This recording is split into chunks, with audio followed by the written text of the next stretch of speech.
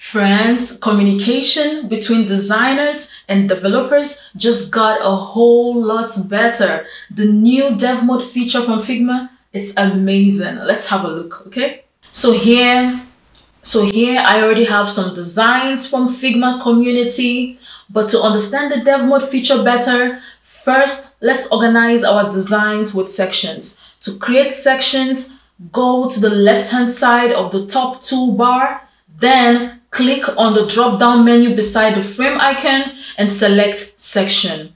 The shortcut for this is shift plus S. Then draw a section to serve as a container for the screens you want and add a title to the section.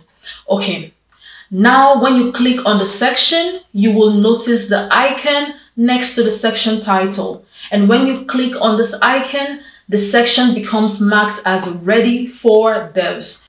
If you look at the page name from the layers tab on the right, you see this also reflects. So now let's switch into dev mode. Two ways to do this. The first way is to click on the toggle on the right hand side of the top navigation. You can also use the shortcut Shift plus D. Or the second way to do this would be to click on the Ready for Dev tag close to the section title and select open in dev mode.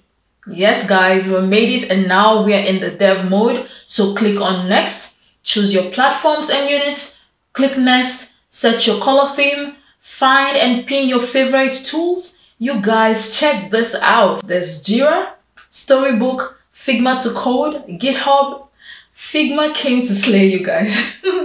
this feature is amazing. I love it. Okay, click on Nest, install integrations, and done. The first thing you'd notice is that the layers panel in dev mode looks different. First, you'd see an area for sections that are marked as ready for dev. Next, you'll see some components, and at the bottom of the panel, all layers not marked as ready for development. And from the inspect tab on the right hand side, when you select a file, you'd see dev resources, codes, layout styles, colors, and assets used. And you can also compare changes that have been made to this file. what can I say, you guys? This feature is just amazing. So of course, you can also switch back to dev mode by clicking on the green toggle on the right hand side of the top navigation.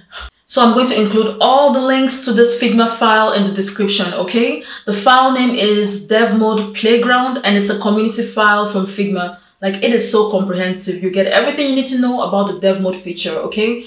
And that's it friends. I hope this video was helpful to you and now you can collaborate better with your software developers, hopefully, okay?